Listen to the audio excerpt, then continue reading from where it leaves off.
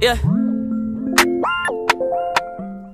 Hey y'all, what is up and welcome back to my channel for another part of the Sims 3 to Sims 4 series where we are recreating the Sims 3 families and their homes in the Sims 4. So today we are recreating our last single sim of Sunset Valley which is Miss Erin Kennedy and you know what? Since I'm so obsessed with this series, I'm actually probably two weeks ahead by the time I am uploading this because I just can't stop. so when I built this house and created Erin in The Sims 4, it was actually a week Uh, it was the week of the announcement for Strangerville.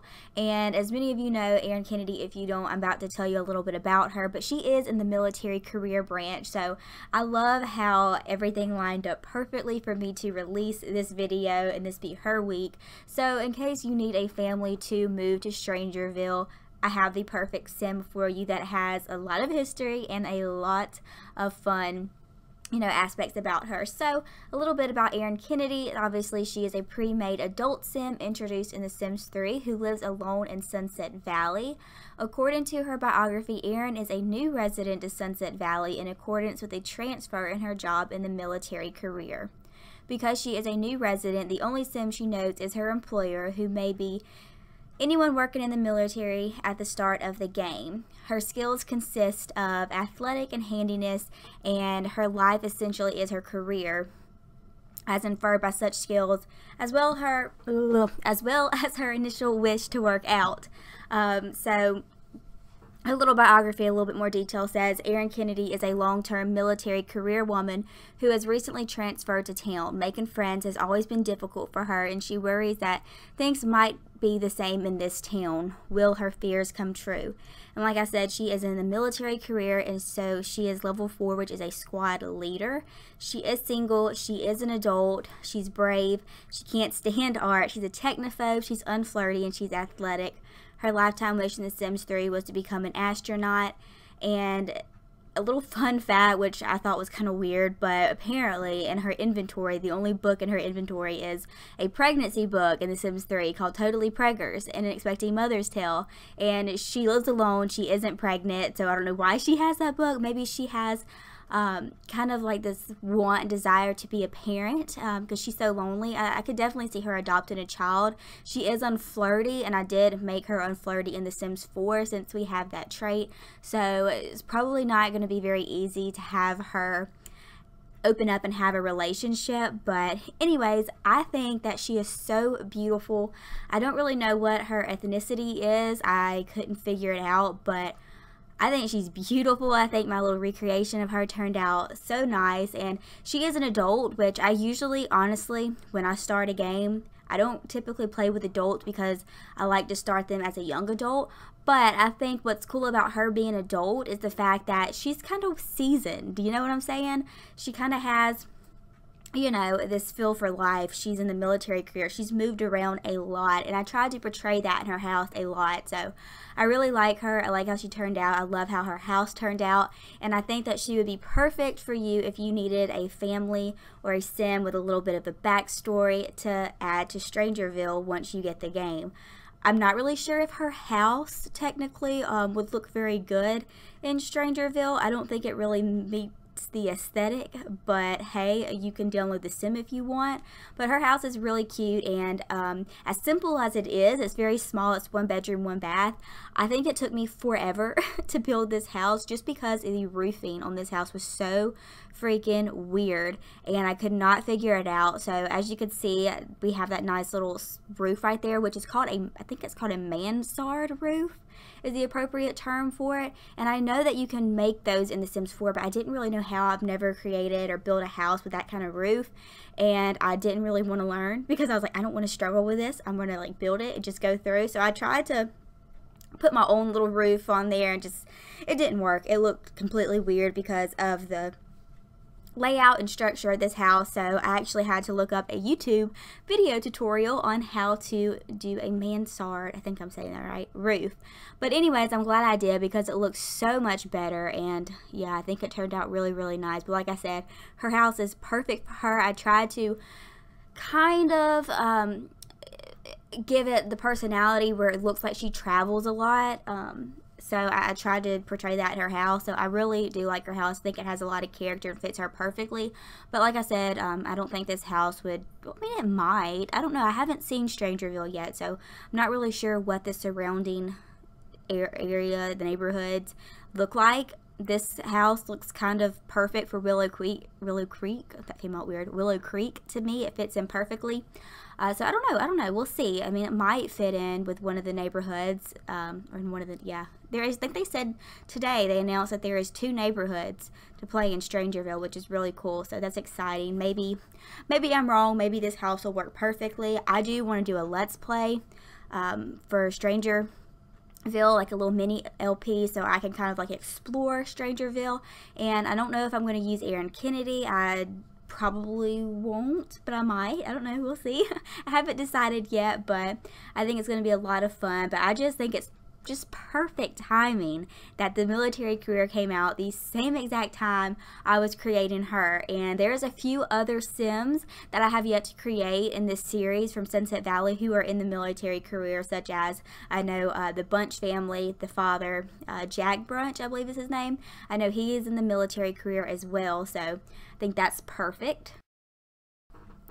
But as far as her house goes, um, it is small, like I said, and I tried to give it the appearance as far as the landscaping that it's a little bit overgrown, which is why I put those nice little shrubs right there. I love those shrubs. I love to size them up.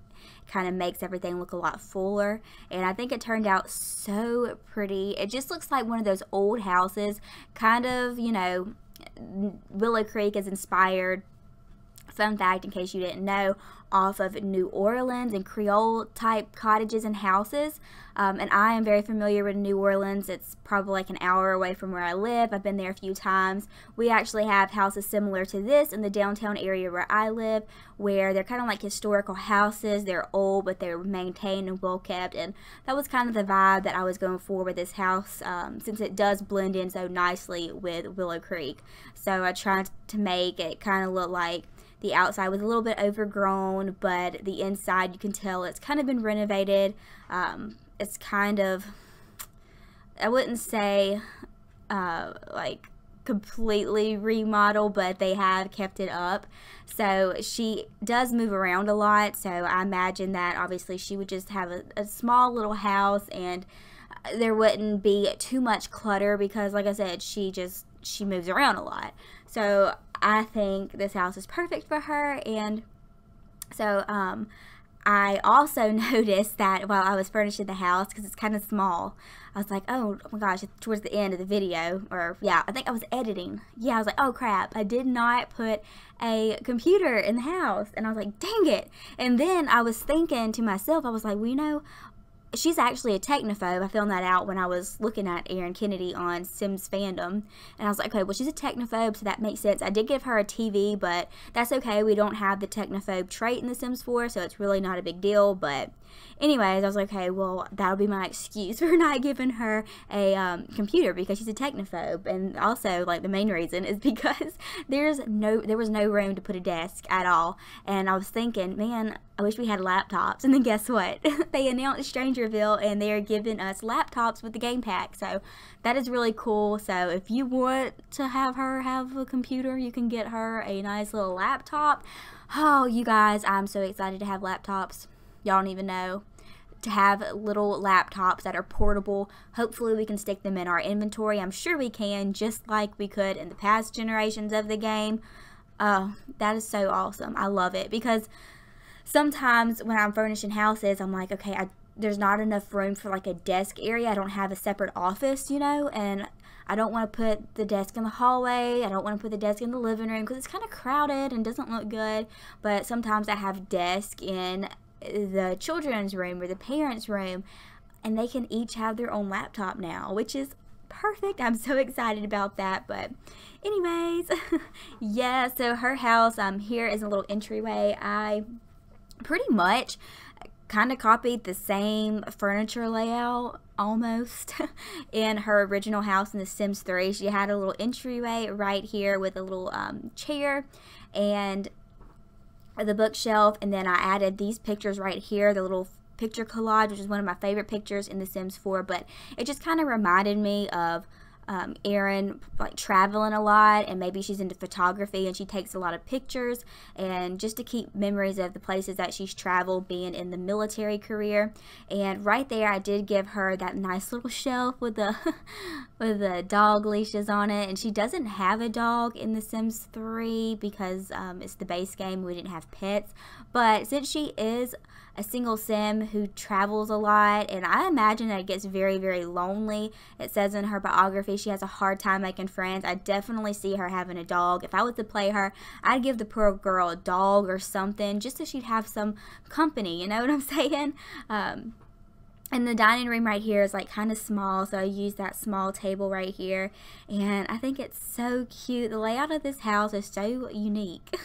And that's I think that's one of the main reasons I love this series so much is because it makes building so fun. I'm able to go outside of my little Pinterest box where I just copy the house plans on Pinterest because I mean, I just, they're not this unique, uh, you know? I, I don't know. It's just kind of like basic, but this, in The Sims 3, in The Sims games in general, their layouts are different. They're nice, and they're nice to recreate, so I have a lot of fun doing it. And here in her kitchen, which is actually like a nice size kitchen for the size of this house, everything's pretty nice sized. I mean, it's one bedroom, so I imagine that it would be.